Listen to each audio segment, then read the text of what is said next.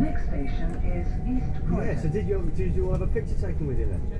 This is coach number seven Well of done. eight.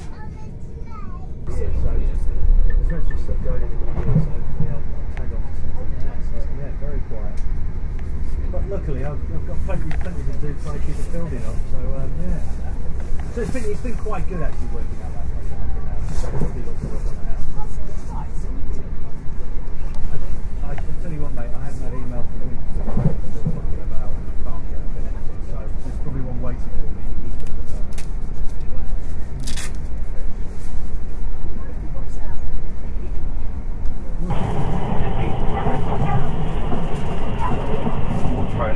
Thrown his voice, isn't he? Sorry? He's thrown his voice.